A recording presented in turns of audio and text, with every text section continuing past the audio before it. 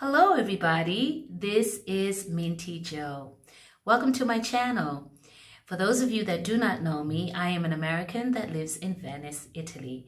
And on this channel, we talk about locs, we talk about faith, we talk about anything positive that's going to help us be the best version of ourselves. Okay, so one of my subscribers asked me if I would do or show my nightly routine. So I would like to do that for you now because it's very late here in Italy. You could probably tell that I am tired, but I think, you know, I want it to be authentic. So I want to go ahead and do it when I am actually getting ready to go to sleep. All right, so we're going to go ahead and get started. And this is basically what I do. Sometimes I do it um, not every night, but most nights I try to, to um, moisturize my hair. It's been a long day. And you know what? It still feels okay. But I'm going to go ahead and just get it ready. So the first thing I'm going to use today is a combination of castor oil of water, of course, castor oil and a little bit of tea tree oil and a little bit of almond oil.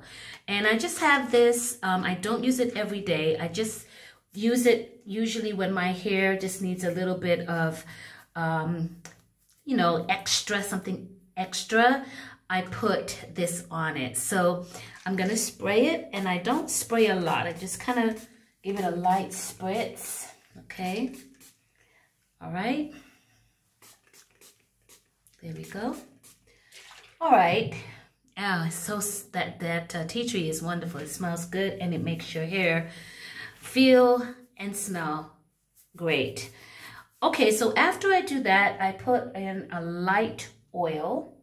And the light oil I'm going to be using is my almond oil. Okay, just going to use a little bit like this and just kind of run my hands through my hair like that, especially near the ends. All right. Another thing that I do, which is really, really good for your hair, is to massage the roots. Okay. Don't be afraid. Some be like, well, I don't want to do that because I don't want to mess up my hair. You don't have to do it every night. My hair is about to be washed soon, um, probably this weekend. So, you know, it feels extra good for me to do this. All right. And it does actually help the hair to grow because the blood is being circulated up there and it helps it completely. All right. So the next thing that I usually do is a step that I found out some information about. I was doing it on my own. It's for me to cornrow or braid my hair. And I found out and discovered by doing my research that if you tend to have bumps in your hair, now let me try to see if I can find one really quickly because um, everyone usually has them. Okay, this is one for sure. What this technique does, it helps to smooth out your locs. So what I'm going to do now is I'm just going to do two cornrows in the back. Now let me just say this to the back. Let me just say this, that I don't do it tight at all. I'm not the best corn cornrower in the world, okay, or braider in the world. But I just do it so I can definitely put it back tuck it away a little bit, okay? And make sure it's nice and um, moisturized, maintaining the moisture in it, okay? All right, as you can see, there's little parts that are sticking out, but that's okay. And I just go ahead and braid very slowly the back of my hair, the ends of my hair, okay?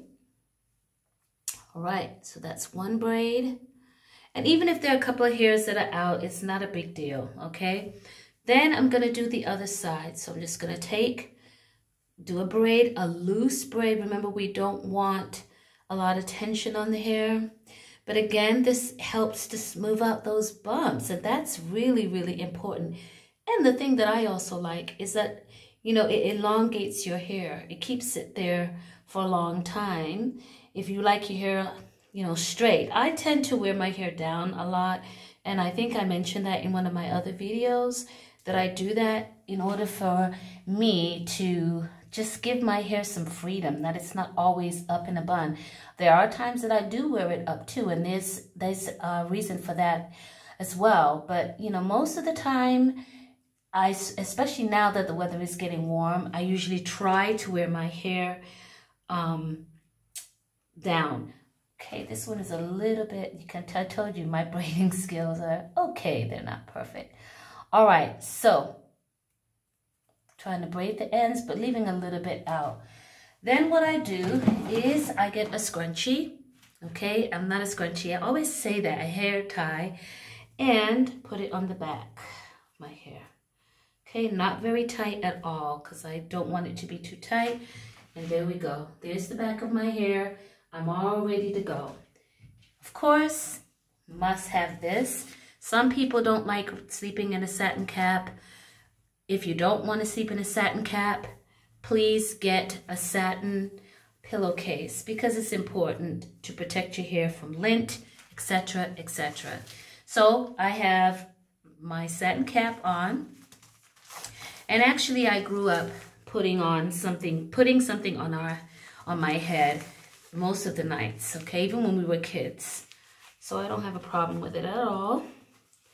And this is actually um, what helps me keep my ends, my um, roots, excuse me, um, flat is when I put this piece of material on it. Okay, and so this is my night routine. Turn to the back so you can see. It's not too tight. It's very comfortable, even though my hair is put together in the back, you know, with this, with the little uh, head hair tie. It's not a problem at all. So this is my nightly routine. Like I said, I use a combination of tea tree and castor oil, or sometimes I just use some water and I use a light oil.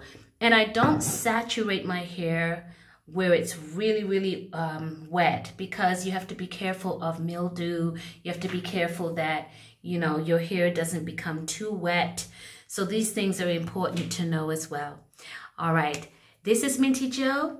I hope that you have had a good day and please subscribe, subscribe to my channel. Please also leave a comment. Love to hear from you. If you have any hacks or ideas that can help us all, please share them in the comment section. Thank you so much. It is late here and I'm going to have to say to you, buonanotte. Bye.